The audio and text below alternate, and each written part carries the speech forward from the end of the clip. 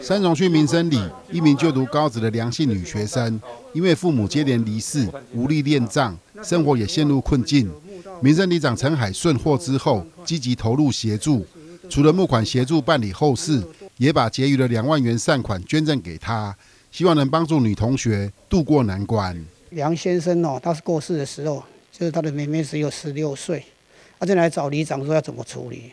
后来我就帮他募款。募款，然后那个散落全部的款项，有多出了差不多两万块。我们借这个机会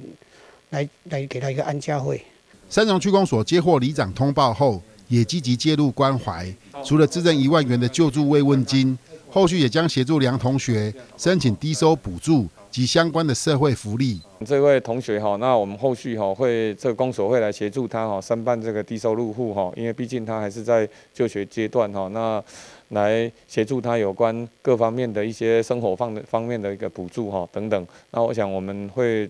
做好呃辅辅导他的立场哈，协助他来申请这样的相关的一个作业。虽然梁同学家中遭逢变故，但他仍乐观坚强。目前他和姐姐在外租屋生活，并利用课余时间打零工维系家计。相信在各界的爱心协助下，他能走出困境并完成学业。记者卢林宏采访报道。